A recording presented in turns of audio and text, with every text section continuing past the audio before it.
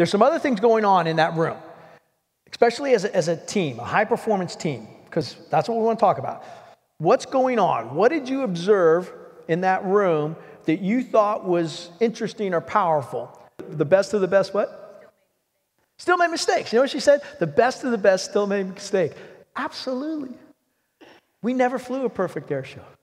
I made mistakes all the time. Now, what you learn is to put it in a container. You got to know your guardrails, right? You got to know when a mistake is out of parameters. We call those a safety, by the way. So you heard in the comments, boss said, Gucci, I dropped you off a little bit low. Uh, it was only 50 feet, but that was out of our parameters. No one would have known it. We knew it, but no one else would have known it. But the point is that, um, yeah, we all make mistakes. And here's even the more important part is it's okay as long as we're correcting and we're learning from it, and as long as we stay within parameters. So it's good to know what those parameters are.